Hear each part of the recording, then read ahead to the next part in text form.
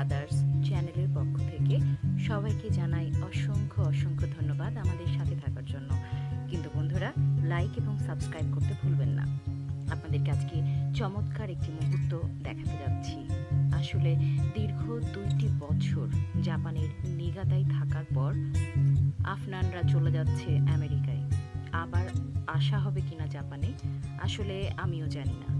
জাপানের এই সুশৃঙ্খল জীবন ব্যবস্থাকে আকৃষ্ট করে পৃথিবীর প্রতিটি মানুষকে।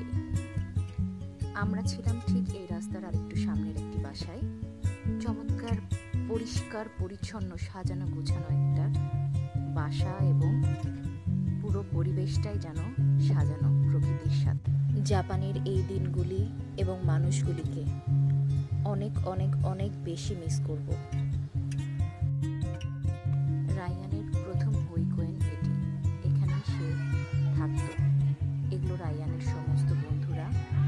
সবাই অধীর আগ্রহে অপেক্ষা করছে। রায়ান রায়ানের জন্য খুব প্রিয় সেন্সি। অনেক অনেক আদর করতো। যতক্ষণ হুইকোয়েনে থাকতো রায়ান সেন্সি রায়ানকে অনেক বেশি যত্ন নিত। ইনিও আরেকজন সেন্সি যিনি রায়ানকে অনেক বেশি আদর করেছেন।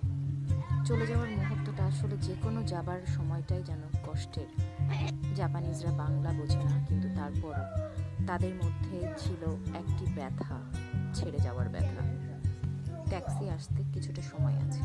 এই জন্য অপেক্ষা করছি রায়ানের ওয়েটিং রুমে সেই সাথে বাচ্চা দুটো দেখেন কি মজা করে খেলছে।